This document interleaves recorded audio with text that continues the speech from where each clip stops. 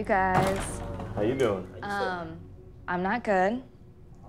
I uh, I wanted to come and talk to you guys because I found out that Demario, I don't know if he has a girlfriend, if he cut it off right before, but whatever the case may be, there was something there. She came here, she confronted Demario. I gave him a chance to explain himself, and he couldn't.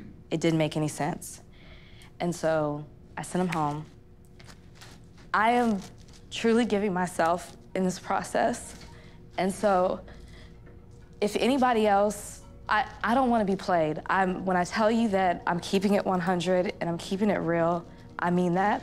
I don't want to be played. I don't want to be made a fool of. I don't want to be a joke. So if anybody else has a girlfriend, please just like tell me now because it, it makes me sick that I sent people home.